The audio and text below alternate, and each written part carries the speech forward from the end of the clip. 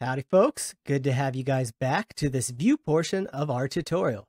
In the last tutorial, we set up an application to run in a Docker container routed to by another Traefik Docker container.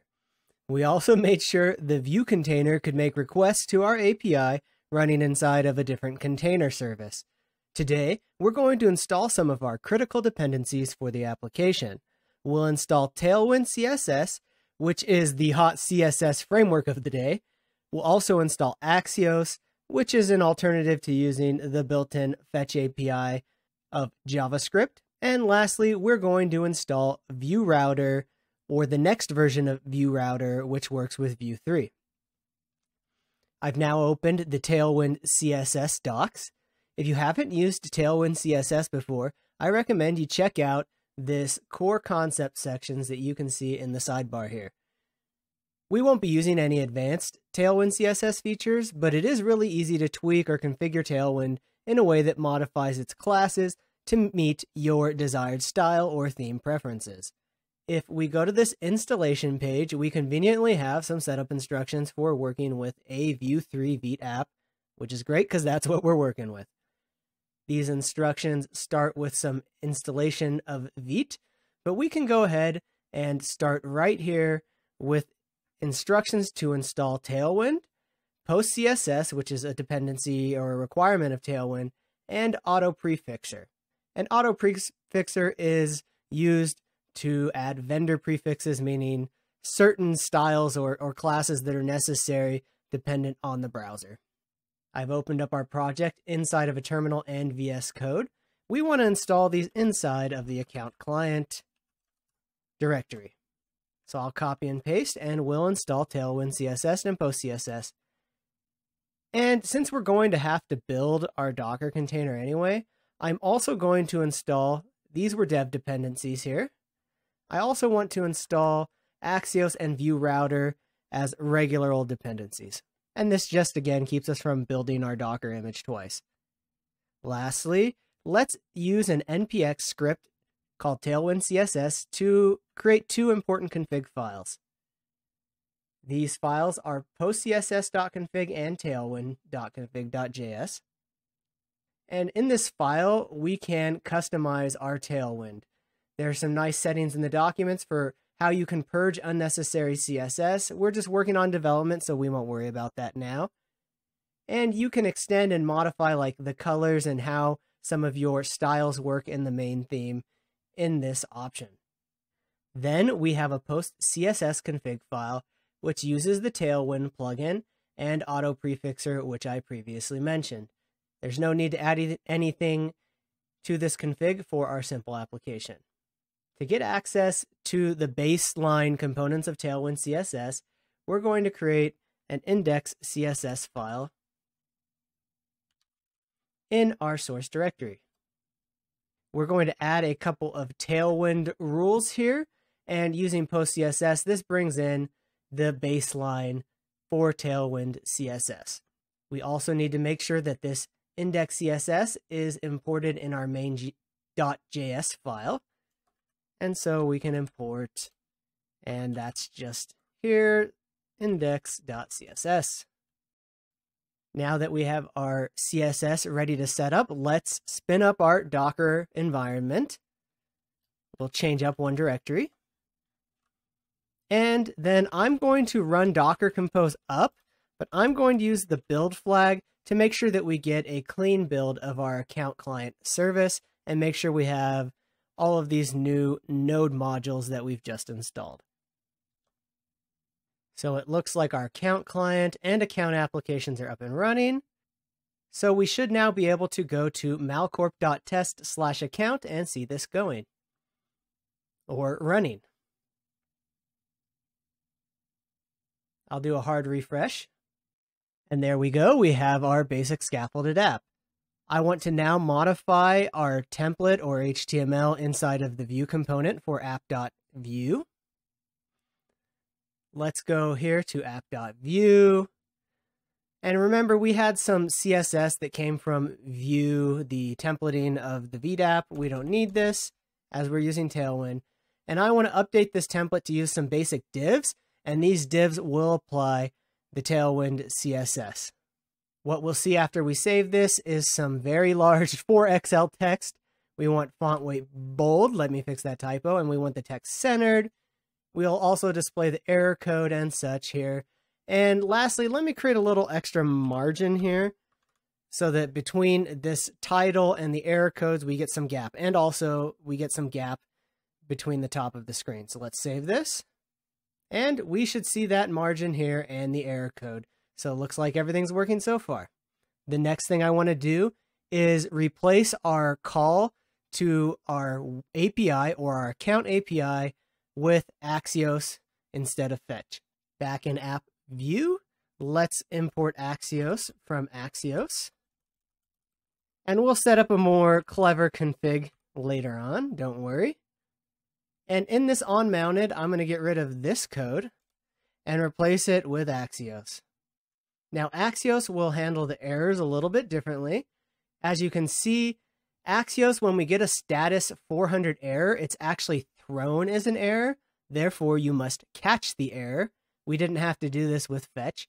So if the error is a response error, and I think that is for status 400 responses, we're going to set the error code, and that's these responsive values and the error message from the response. If it's a different type of error, we'll just default to a 500. And we're not storing any body in the case of a successful result. And we can't get a successful result, result because we don't have any authorization yet. Let's save this.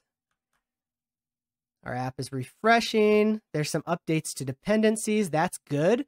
That means that now Vite's seeing that we're using Axios. You see it says new dependencies found.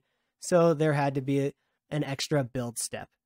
And we also got a 401 here, which is great. That means that our account client reached out to our account API.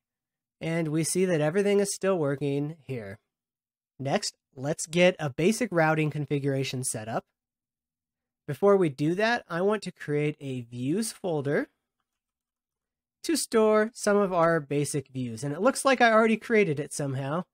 I guess I had been playing around with the app, but there's no folders here. So make sure you create a views folder, or I should say there are no files in here yet. And let's create three files for our main views. And I'm calling views what others might call screens. These are just pages or view components that correspond to the routes. We're going to have a details route. And so we'll call this details view. We'll have an auth.vue and we'll have a fallback page called not found. Inside of auth, let's just put a basic template and a script with the name of auth here, and it will just say auth page. For the not found page, we'll do something almost exactly the same, except that we will call it not found.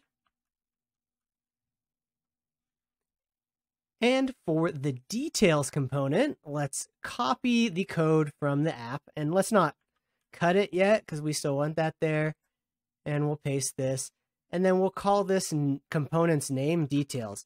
So this page or component, when we route to details, will do what our app main page was previously doing, and that is reach out to the me endpoint of the API. Now to handle routing between the details, auth, and not found components, we're going to create a file in the source called router.js. And we're going to configure this newer version of Vue Router. And so some of the imports might be a little different, but the main router config is basically the same. And by different, I mean different than Vue Router version 3. This is Vue Router version 4. So don't be confused. Vue Router version 4 is the one that works with Vue version 3.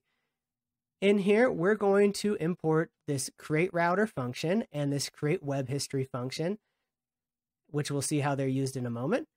And we want to import those components that we just created, or those view components, and view with a V-I-E-W-S.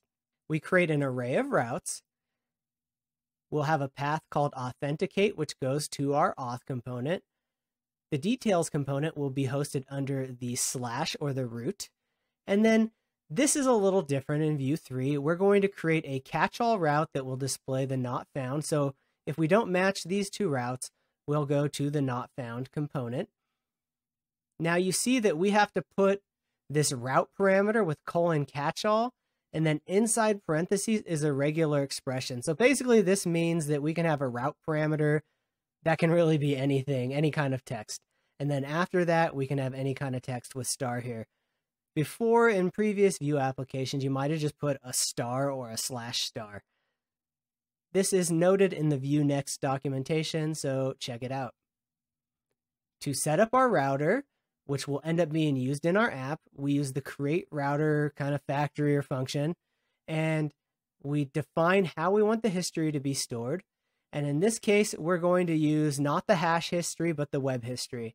You would import, I think it's called create hash history if you wanted to do it that way. What is this though? The import.meta.env.base URL.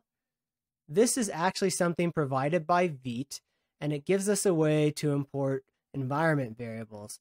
If you remember from the last tutorial, we ended up setting up in viteconfig.js here. Let's pop that open. We set a base field to slash account slash.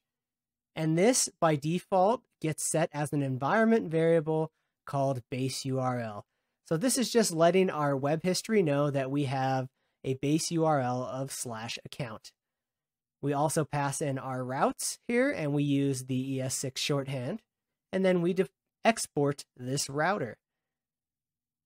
Of course, we need to use this router somewhere. And we do that inside of main.js. And this may be a little different than you did in Vue 3 as well. We import the router from that routes file we just created. This is the export we just made. And to use these kind of plugins, you use dot .use, and Router creates this plugin under the hood, so you don't need to worry about it too much. You can even see it says plugin. Why they call it a plugin underscore two type is beyond me. I guess I need more expertise in Vue.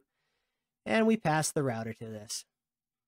And we should be able to save, and our application should have the router ready.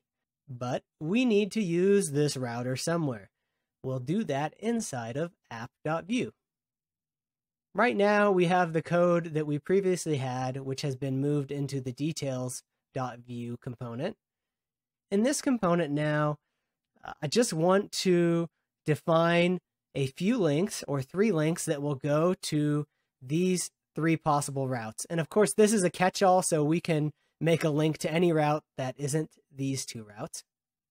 And then I want to create a router view that will inject one of these three view components depending on the route that's matched.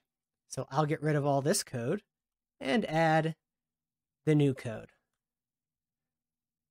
What we'll have, and is an error evidently, but we'll check that out, is an app component.